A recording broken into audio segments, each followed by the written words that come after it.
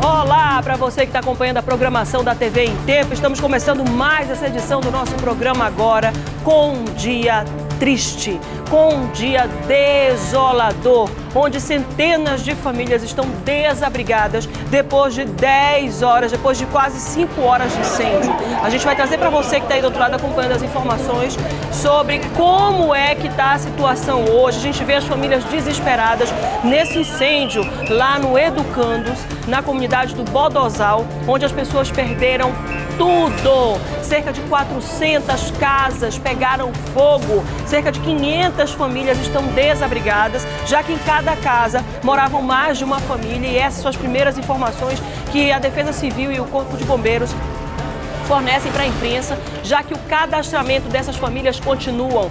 Chamas alta e tudo isso começou por causa de um, tudo isso começou por causa de uma panela de pressão que explodiu e acabou atingindo uma botija de gás. Nesse momento você vê as chamas, os focos de incêndio dentro das casas dos moradores. A nossa equipe esteve lá durante toda a madrugada acompanhando o trabalho do Corpo de Bombeiros, acompanhando também essa ajuda dos moradores em tentar apagar esse, esse incêndio, tentar evitar que esse incêndio se prolifera, proliferasse e atingisse mais casas ainda. Ser acompanhador das pessoas que perderam tudo, gente saindo de suas casas, é, abandonando as casas ainda no meio do incêndio, sabendo que aquela casa iria pegar fogo. É, equipes do corpo de, de, do SAMU, né, fazendo atendimento às famílias que estavam precisando de ajuda. Olha a imagem de cima, olha só essa imagem que você acompanha agora, demonstrando claramente a extensão desse incêndio. O Corpo de Bombeiros acabou sendo é, chamado, né, as equipes do Corpo de Bombeiros, pessoas que estavam de folga, foram chamadas, convocadas para fazer esse atendimento.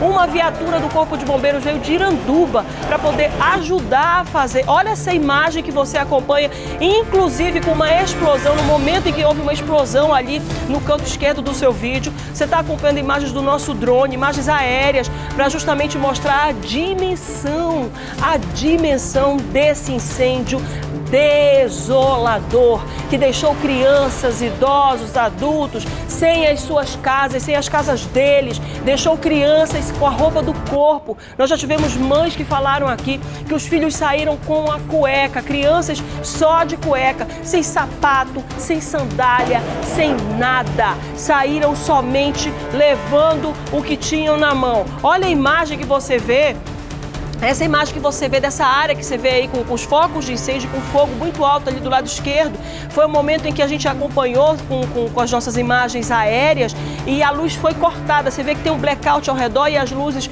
é, das casas ali um pouco mais adiante, mas nesse momento você vê, acompanha direitinho a extensão desse incêndio. Vários focos de pequenos outros incêndios ali e a, e a equipe do Corpo de Bombeiros já tentando controlar a ajuda dos moradores para evitar que o fogo se alastrasse, o desespero desespero de pessoas que perderam tudo, tudo durante essa noite. O incêndio começou mais ou menos por volta de 8 e meia da manhã, foi controlado por volta das 3 e meia, ou seja, horas de desespero, de pânico, famílias inteiras se viram desabrigadas, moradores que perderam contato com os pais, é, com os irmãos, com os filhos, sem saber para onde eles tinham ido, que na hora do desespero todo mundo saiu correndo imagens que você vê das pessoas tentando recuperar o que pudessem, televisores, geladeiras, fogões, saindo no ombro, nos ombros dos moradores para tentar salvar um pouco do tudo que eles tinham dentro da casa. Conquistas depois de longos anos,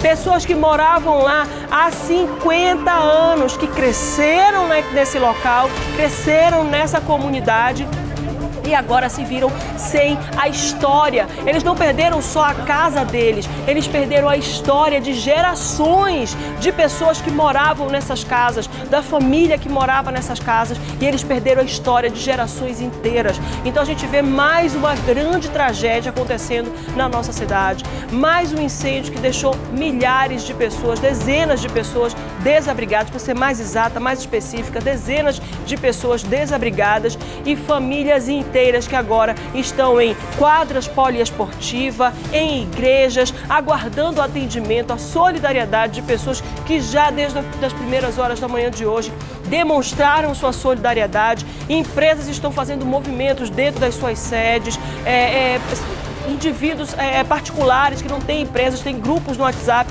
movimentando já os amigos, os familiares, para poder fazer o atendimento dessas famílias. É, nós temos informações de que somente uma mulher de 53 anos está em estado grave no Hospital Pronto Socorro 28 de agosto, não por ter sofrido queimaduras, mas porque teve uma parada cardiorrespiratória. Ela era cardiopata, tinha problemas cardíacos e acabou tendo, é, de, dentro dessa emoção toda que todo mundo viveu essa noite, é, desse trauma que todo mundo está passando nesse momento, ela acabou tendo problemas agravados e segue internada em estado grave no Hospital Pronto Socorro 28 de agosto, que tem duas características. Tem uma ala específica para tratamento cardiológico e, e é especialista também em queimaduras. É por isso que o SAMU estava levando todo mundo para o 28 de agosto e a gente está acompanhando toda essa situação. Eu pedi que a produção trouxesse para mim a foto de como era, para você ter uma ideia da extensão do incêndio. Traz a foto para mim de como era o Educandos ali antes da, da desse incêndio. Você está acompanhando aqui essa área toda aqui que você vê aqui, que está delimitada aqui, olha, por um risco foi essa área toda aqui, olha, que acabou sofrendo o incêndio. Você acompanha aqui o volume de casas, olha, para você ter uma ideia aí da extensão acabou sendo destruída. A gente vê panificadoras, mercadinhos, né? Toda ali, olha, a rua Alameda São Francisco passando bem aqui no meio. O Corpo de Bombeiros teve uma dificuldade enorme de acessar as casas para poder conter o fogo um pouco mais rápido. Não conseguiu acessar porque tinham muitos carros, tinham muitos carros estacionados ali na rua, o que dificultou o acesso. Os moradores, você viu ali, quebrando os vidros dos carros, entrando nos veículos para tirar os veículos da rua para poder fazer com que o carro carro do Corpo de Bombeiros tivesse um acesso maior. A gente tem imagens é, aéreas da extensão, de toda essa extensão que você acompanha aí, com imagens que nós retiramos aí da, da internet, né? Para você ter uma ideia da gravidade, da grandiosidade desse incêndio. Olha só, aí você acompanha aí, ó, tá vendo o cursor? Esse é, é essa, esse momento que você. Onde o cursor está mostrando, você está acompanhando, é, tudo foi destruído. Tudo isso que você está vendo aí, os telhadinhos, as casas, que outrora tinham famílias morando aí, tomando café, almoçando, jantando, tudo isso foi destruído completamente destruído pela força das chamas, pela voracidade desse incêndio que acabou com tudo grande, um, um, número positivo que nós temos é que ninguém morreu, graças a Deus. Dentro dessa desgraça toda, a gente tira uma boa notícia: ninguém morreu. Muitas pessoas ficaram desesperadas. Olha, a imagem que você acompanha aqui nas laterais, são, olha só a imagem aérea, só para você ter uma ideia. Para você ter uma ideia aqui, ó, eu vou aqui. Eu vou aqui do lado, não sei se o Carlinhos vai conseguir me pegar aqui. Olha aqui, ó. Olha só aqui, ó. Toda essa área aqui tá com muito reflexo, né? Olha, toda essa área aqui representa exatamente, ó, que você está acompanhando aqui, ó, as imagens que estão com a tela cheia, é, é justamente essa imagem que você acompanha. Você vê bem o desenho, dá para perceber bem o desenho. Ó. Volta aqui para mim só para mostrar pro pessoal que está em casa aqui, ó. Essa aqui é a área antes do incêndio, você tá vendo?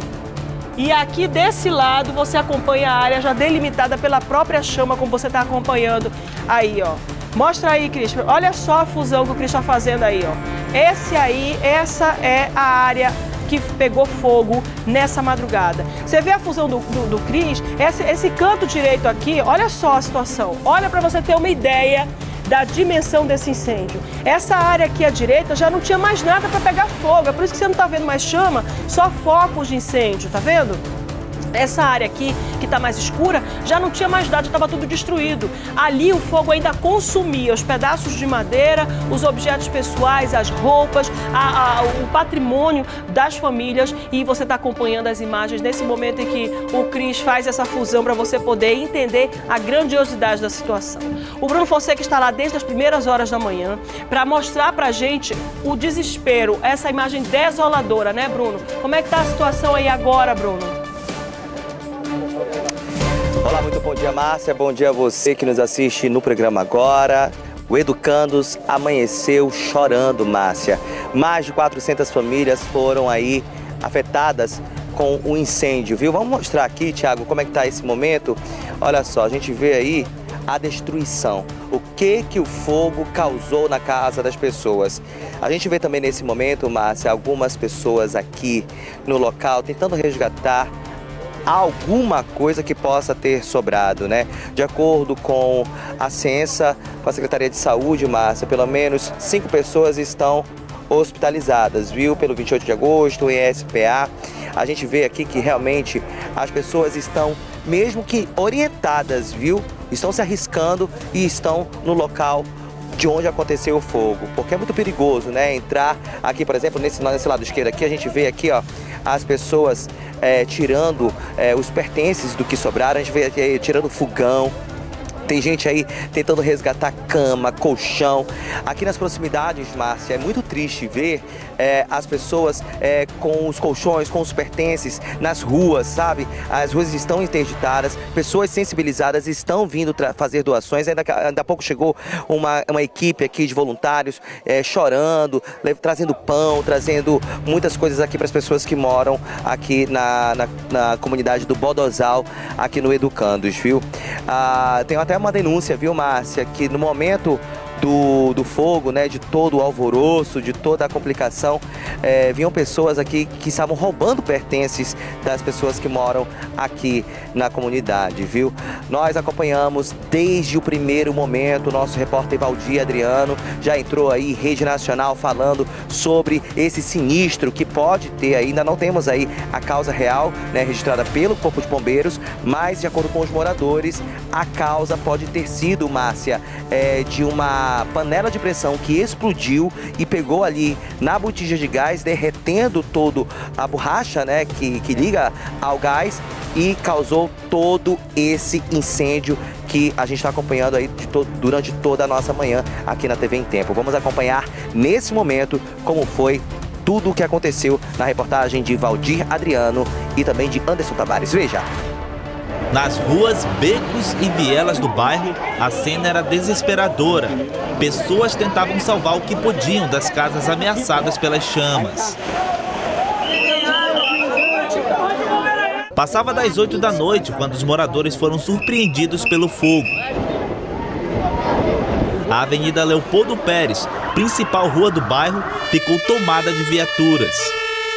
Deslocamos todas as nossas viaturas, estão aqui até a nossa viatura de Iranduba, que é lá do outro lado da ponte, ela está aqui dando esse apoio. E nós estamos na, fazendo agora aí o combate para tentar aí extinguir esse, esse fogo aí. Com medo do fogo atingir os carros estacionados, os moradores chegaram a quebrar o vidro dos veículos e empurrá-los. A maioria das casas eram de madeira e o fogo se alastrou. Com medo, os moradores tentavam agir,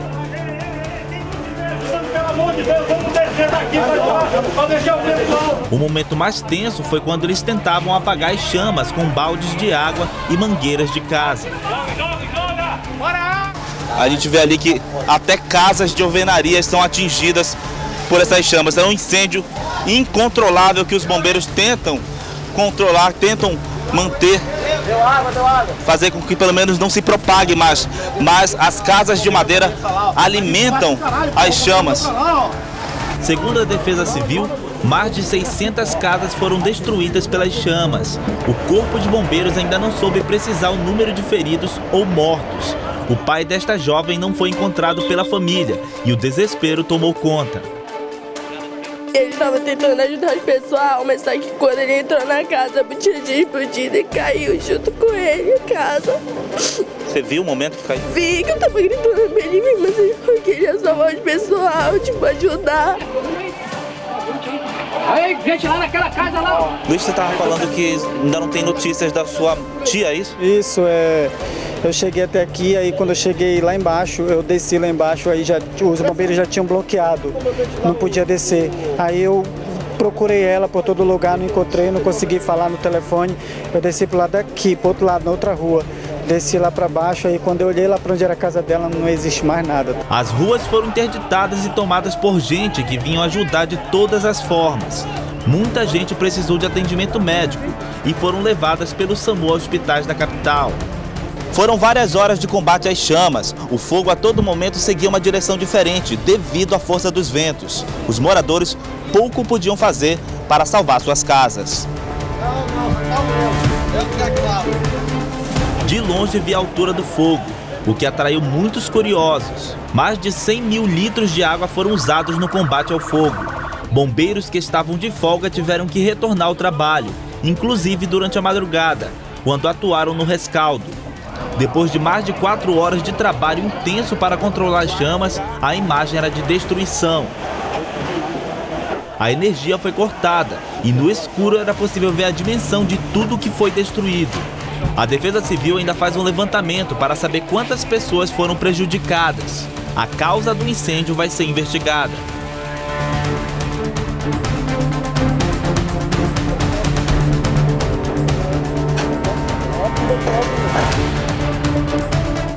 Tá vendo aí, né, brilhante reportagem do Valdir Adriano, que acompanhou desde o início com toda a equipe aqui da TV em Tempo.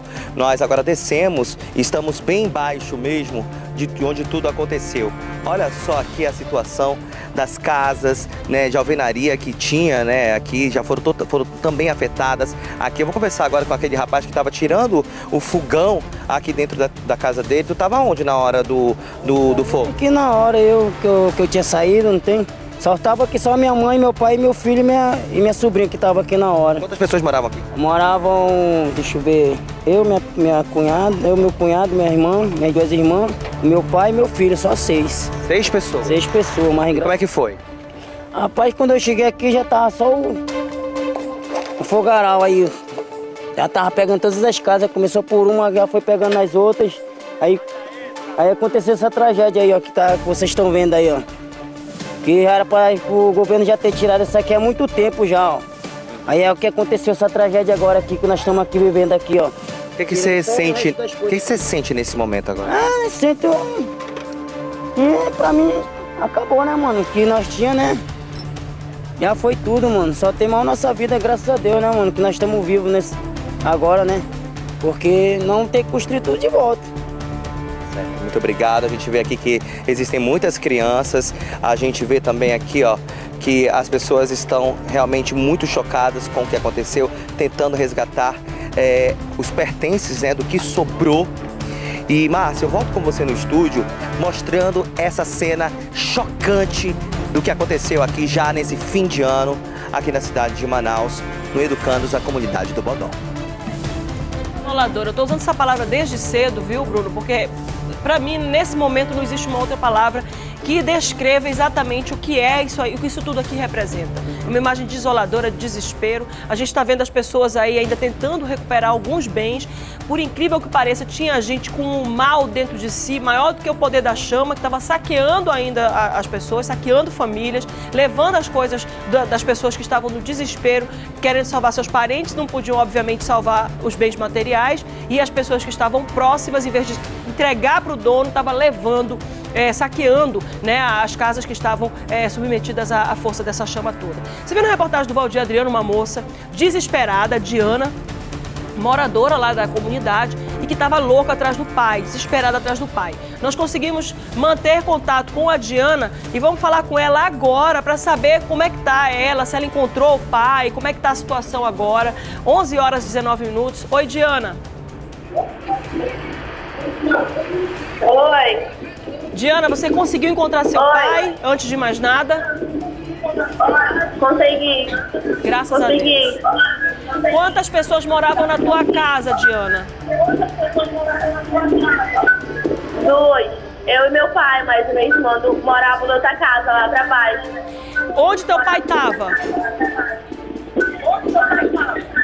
Dentro da casa, ajudando a apagar o fogo para não vir para casa, os vizinhos. Deixa eu te pedir uma gentileza, baixar um pouquinho o volume do seu televisor, por favor, Diana, que tá dando eco aqui dentro do estúdio. Duas pessoas moravam com. Vocês eram dois, né? Só era você e seu pai dentro de casa, é isso? É. O que que você estava fazendo na hora que você percebeu que a coisa estava pegando fogo lá fora, que estava tocando, que o incêndio estava já se alastrando aí pela, tua, pela, pela, pela vizinhança? Como? O que, que, o que, que você estava fazendo na hora que você viu o incêndio começando? Eu tava tomando banho. Quando meu pai viu o incêndio, todo mundo batendo nas casas e ele mandou sair vestir minha roupa, porque tava pegando fogo as casas. E aí você saiu correndo e ele ficou dentro de casa? Saí correndo, mas o fogo ainda não tava muito perto de casa, tava bem longe, ainda na primeira casa. Pegou o fogo. Mas depois ele tava, tava jogando água e o fogo veio. Saiu incendiando tudo. E aí você viu que o fogo chegou e alcançou a sua casa. Sua casa queimou inteira? Não, tem nada. Só cinzas. Pois queimou toda a tua casa, então? Queimou toda? Toda, toda. To- O teu pai estava em casa tentando recuperar alguma coisa. Ele conseguiu. Só documento dele. Ok. Diana, é, você tá em um abrigo? Onde é que você tá agora com a tua família? Eu tô na casa da minha mãe. Graças a Deus. Seu pai também está sendo atendido nesse momento, então, né? Sim, ele tá na casa do amigo dele. Diana, muito obrigada por ter conseguido falar com a gente. A gente deseja que vocês consigam é, passar por esse, por esse momento de grande tristeza, que vocês sejam auxiliados, ainda bem que vocês tenham onde ficar, né? Vocês têm onde ficar e estão já recebendo atendimento. Fala com a nossa produção, 11 horas e 22 minutos. Você vê o momento em que a Diana é amparada pelas amigas, porque o pai tinha ficado em casa para poder tentar recuperar alguma coisa mas ela acabou de dizer que não foi recuperado nada, tudo virou cinza. Vamos voltar lá para o local do incêndio, onde o Bruno Fonseca está no momento para acompanhar esse dia depois, né? Bruno, uma fumaça danada aí, né, Bruno? Olha só, Márcia, nós voltamos aqui ah, ao vivo, né, do local da comunidade do Bodosal, onde aconteceu o acidente. A gente continua mostrando aqui, ó, toda a situação. É triste ver é, essa, esse resgate né, dos próprios moradores. Uma informação aqui, Márcia, do Corpo de Bombeiros, é que foram mais de 100 mil litros d'água usado, né, como a gente viu na reportagem do Aldir Adriano. Eles usaram todos os postos pela capital, viu? Posto do Comando Geral, do CIS da Colônia, no Zumbi, do Distrito, da Compensa, lá da rodoviária, do Cacau Pereira, viaturas aí de apoio, é, vieram realmente aí, usaram todas as viaturas, todos, tudo o que foi necessário para poder aí é, controlar as chamas que duraram aí cerca de 10 horas. Existe também a solidariedade, não é isso, Márcia? É, a gente vê que existem pessoas boas aqui na cidade de Manaus que estão realmente aí se sensibilizando e trazendo, fazendo doações para as pessoas que moram, que moravam aqui na comunidade do Bodosal. A gente vai ver agora uma reportagem do Juliano Couto que traz esse destaque aí da solidariedade. Uma quadra de esportes do bairro foi usada como abrigo. A Defesa Civil do município realizou cadastros de moradores que perderam tudo. Eu vou decretar ou calamidade ou emergência, não sei bem qual é a, a palavra jurídica que cabe, mas vai ser uma fórmula para nós comprarmos sem licitação e rapidamente colchão, tudo aquilo que seja necessário, além de recebermos doações. Estamos pedindo doações das pessoas para nós enfrentarmos essa situação. Igrejas da comunidade também ajudaram. Nós estamos aqui na quadra da igreja fazendo um centro de triagem, as pessoas estão sendo atendidas uma por uma, estão as doações que nós apelamos para as redes sociais enviarem para cá, chegaram e nós estamos repassando as roupas, água e vamos depois providenciar inclusive alimentação pronta. Dona Ladir morava sozinha em uma casa de madeira não deu para salvar nada. Quando eu desci, que eu abri a porta, que eu abri a janela lá, o fogaréu lá embaixo, estava embaixo lá e a quintura aqui em cima. O que, que eu fiz? Peguei os documentos junto com alguma roupinha de leve e subi. Quando agora estava a quintura. Cerca de duas horas depois do incêndio, os moradores aqui do Educando se mobilizaram e montaram esse abrigo. E aqui a gente tem várias famílias que estão chegando e aí retirando roupas. Muita gente perdeu tudo e ficou realmente apenas com a roupa do corpo. E aí outros moradores também se juntaram e trouxeram água, além de alimento e também colchão. Muitas crianças ainda ficaram procurando os pais e os bombeiros tiveram o trabalho de encontrar essas crianças. Foi o que aconteceu com Dona Josiane, que se perdeu dos filhos, mas eles se encontraram no abrigo. Segundo ela, o incêndio começou em uma casa que ficava em frente à residência da família. A vizinha mora na frente da nossa casa. Aí quando nós vimos foi o barulho da, da panela de pressão. Aí a gente fomos, fomos ver, quando a gente corremos, já tava pegando fogo. Aí não adiantou, mas já foi pegando as, as carras todas, rapidinho o fogo. Aí pegou fogo a botija e foi lá pegando tudo. Segundo os bombeiros, cerca de 600 casas foram destruídas no incêndio. O número de famílias atingidas pode ser ainda maior. Muitas dividiam a mesma casa ou pagavam aluguel. A Arena Amadeu Teixeira também foi disponibilizada para abrigar os moradores. Mas muitos preferiram passar a noite por aqui, na intenção de salvar algum pertence. Quem quiser ajudar com doações, basta se dirigir à quadra de esportes na Avenida Leopoldo Pérez. Estão sendo recolhidos alimentos não perecíveis e água.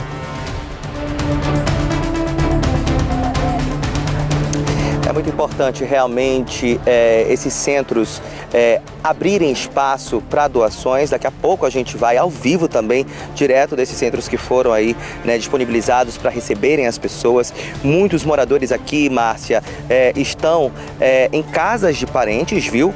Mas também já foram abertos vários locais aqui nas proximidades para receber as pessoas que moravam aqui, cerca de 400 famílias, né? Ou seja, se a gente for pensar em cada casa, se morassem duas pessoas, são 8, mais de 800 pessoas, ou seja, esse número pode triplicar. É muito triste realmente ver essa situação. De acordo com os moradores, Márcia, o fogo começou ali onde eles estão, ó. É, ali naquela parte da cadeira, onde tem uma cadeira ali, ó. Era naquela casa ali que não existe mais, né, devido à explosão. É, foi ali com a botija, né, que, que explodiu com, com a panela de pressão, desculpa, e foi nesse momento que aconteceu aí todo o incêndio. Ainda não há registro de morte, de feridos, apenas cinco feridos já confirmados aí pela Censa. A Defesa Civil faz todo o trabalho aqui para ver de perto realmente quem precisa e quem necessita de auxílio, ou seja, essas 400 famílias, né, Márcia?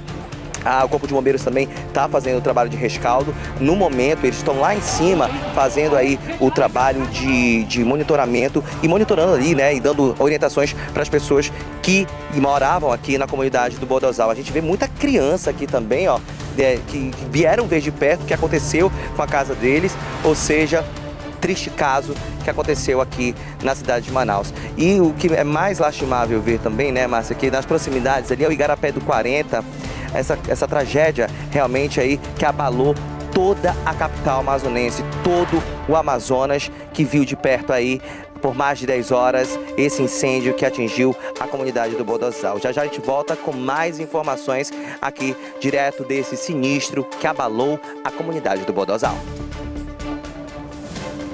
Bruno, Bruno Fonseca, muito obrigada. Devolveu agora para mim aqui. Olha, deixa eu dizer para você que está aí do outro lado que a TV em Tempo, acabei de ser avisada pela direção aqui, também vai virar um ponto de coleta. Então, qualquer pessoa que mora aqui pelas redondezas, zona centro-sul da cidade, aqui pelo bairro Nossa Senhora das Graças, pode entender que a TV em Tempo é um ponto de coletas a partir de agora. Então, a gente fica aqui na Marciano Armon, número 296, atrás do cemitério. Podem chegar ali na portaria, já estão todos avisados. Você pode trazer fardo de arroz, feijão, é, comida pronta nesse caso, né, nesse momento, aliás. É importante a gente dizer que nem adianta falar aqui de arroz e feijão, porque eles não têm onde fazer. Então o que a Defesa Civil está pedindo é comida pronta, lanchinhos, bolachinhas, sucos para poder dar para as crianças, né? E aí é importante que a gente receba comida pronta, que eu digo não perecível de imediato. Então se você tiver caixinha de suco, pacotinho de biscoito, aqueles salgadinhos, qualquer coisa que dê para eles comerem na hora, eles sempre precisar fazer a comida, porque não tem como fazer a comida.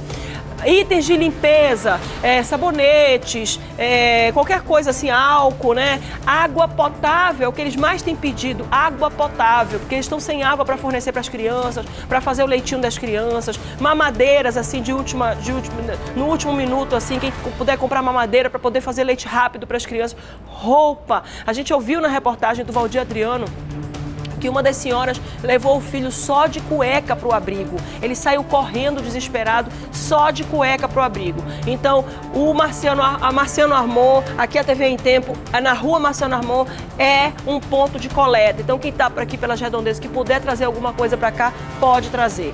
É, nas primeiras horas desse. Uh, ontem ainda, a Defesa Civil começou a fazer o atendimento dessas famílias, começou a fazer o cadastramento, já encaminhar as pessoas que estavam desabrigadas para campos, né, para quadras para igrejas. Então, o Luiz Rodrigues, o nosso repórter, das primeiras horas da manhã de hoje, foi acompanhar como é que foi esse, esse início de uma nova vida para essas pessoas, infelizmente, e já trazer essa movimentação nos abrigos. Luiz, conta pra gente como é que foi.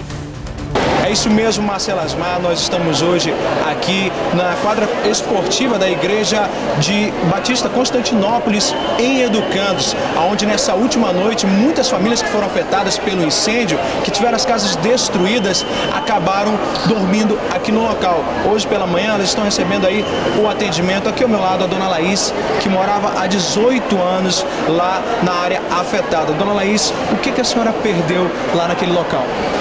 Eu perdi tudo, eu perdi, não deu tempo de eu pegar nem o meu documento mais, porque o incêndio que, que teve, a casa que pegou, que pegou fogo, começou perto da minha casa, né?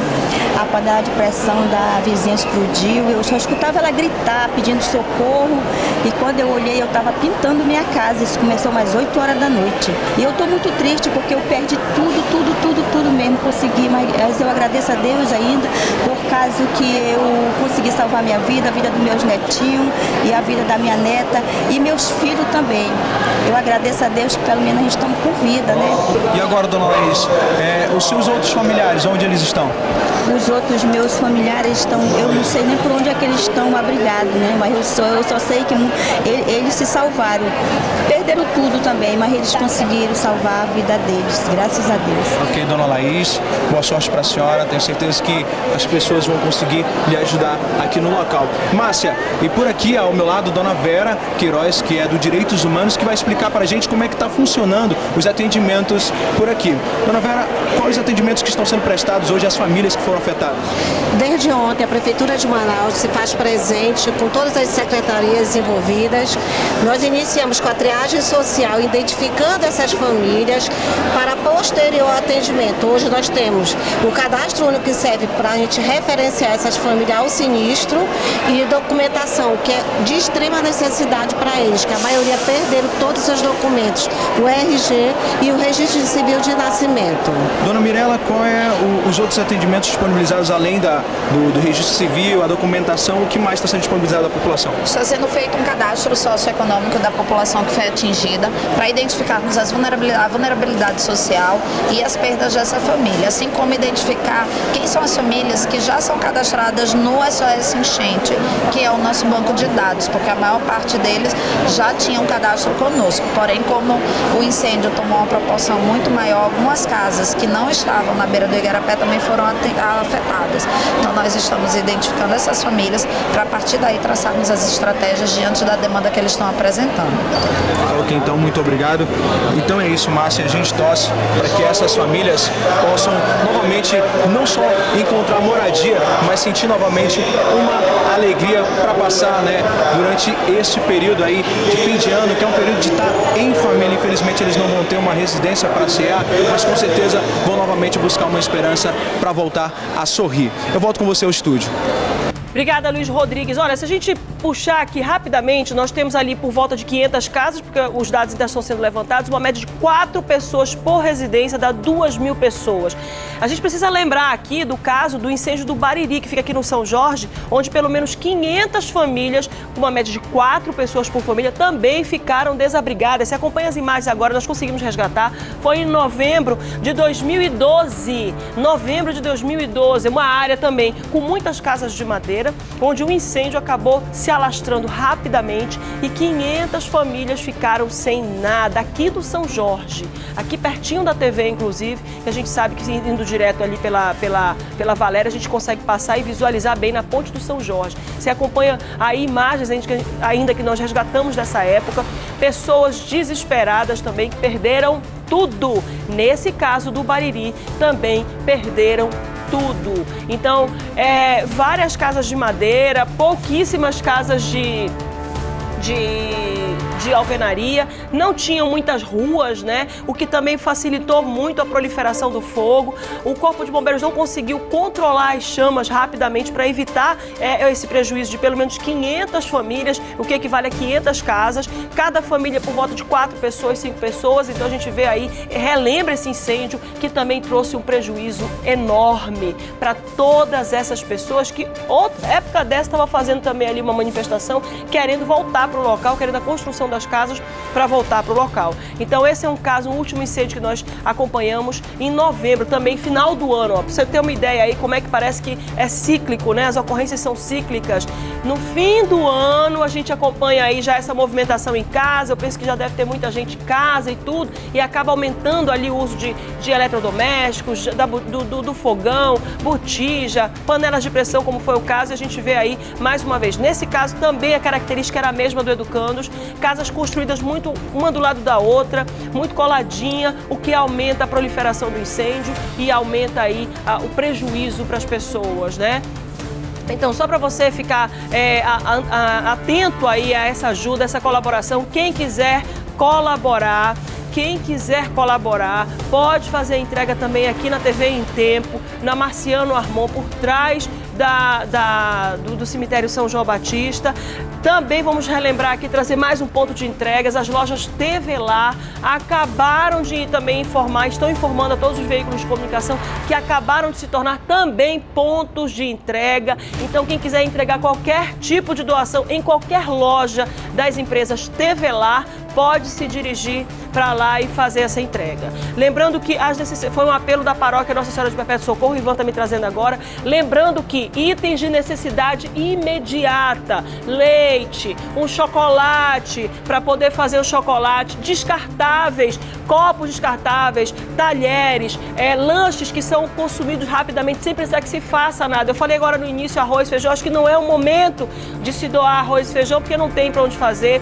Estão precisando também de fraldas descartáveis, descartáveis fraldas geriátricas, roupas, lençol. O Carlinhos está me trazendo muito bem. Quem trabalha com banheiro químico, que puder doar também ali, que puder disponibilizar alguns banheiros químicos. Nós temos pelo menos ali duas mil pessoas utilizando os banheiros que são disponibilizados pela quadra, pelos locais, ou seja, é pouco banheiro para tanta gente, para as crianças tomarem banho, se higienizarem, para que a gente evite é, é, proliferação de doenças infecto-contagiosas, infecciosas nesse momento. Então, as empresas de banheiro químico que puder colaborar disponibilizar um banheiro químico, dois banheiros químicos nesse momento, nem que seja por algumas horas, para que essas pessoas consigam fazer as primeiras necessidades e tudo. Então, esse é o apelo que todos juntos, empresas, iniciativas privadas, comunidades, arquidiocese, igrejas estão fazendo nessa colaboração imediata. Comida, eles precisam de comida nesse momento. 11h38, vamos para o intervalo com essas imagens.